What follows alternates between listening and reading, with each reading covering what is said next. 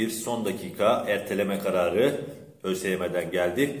MSU 2023 arkadaşlar ertelenir demiştik ve bu konuda çok e, çabalamıştık açıkçası. Ve yine e, sınavın ertelendiğini görüyoruz. 2 Nisan'da yapılacak arkadaşlar. Biliyorsunuz 19 Mart tarihinde yapılacağı söylenmişti. Tabii ki bu acılı ortamda sınavın yapılma ihtimali bile düşünülemezdi. E, adayların hiç yoktan böyle e, 20 güne 30 güne bir ihtiyacı vardı ki YKS 2023'te de böyle olmalı. Bu konuda da ilgili yerlere sürekli yazıyoruz arkadaşlar. Bunu e, tabii ki her şeyi söylemiyoruz ama e, çok yetkili kişilerle görüşüyoruz ve ısrarla YKS'nin de en az bir ay ertelenmesi konusunda çalışmalarımız sürüyor.